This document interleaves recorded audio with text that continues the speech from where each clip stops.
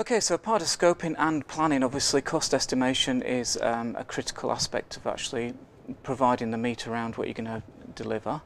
Um, cost estimation, um, software projects I've been involved in recently, um, trying to estimate a, a, cost estimate on a software project which has not yet been designed or re-engineered in the business from a process perspective can be very, very challenging as we're finding out.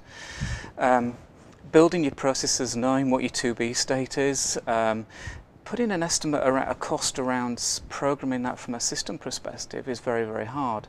Um, we're actually going through a very mechanical process. Um, it does have this degrees of estimation though. We're currently designing to-be processes in the organisation for this particular project. Um, out of that we'll have some technical documentation or we'll have some requirements and some technical documentation.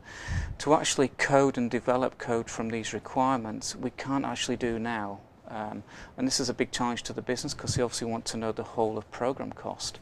Um, but for this phase of the project we can't actually deliver that.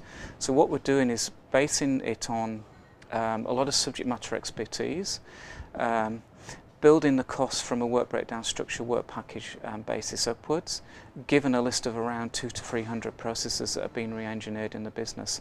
So very challenging. Um, like I say, as long as you set the parameters around an understanding around um, what the governance is around these estimates, um, bringing your board and your steering committee on board with that um, and saying it's a progressive um, estimation um, really does educate them.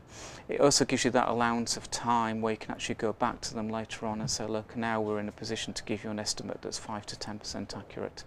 So again software engineering projects not the easiest to um, cost um, dealing with unknowns in the business in terms of number and size and complexity of processes, um, it can be a challenge.